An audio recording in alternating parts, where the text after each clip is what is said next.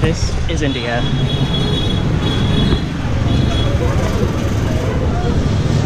It's like the Philippines. But more crowded, more hot.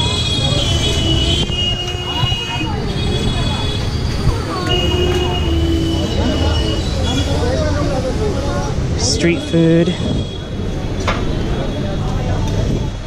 Vendors.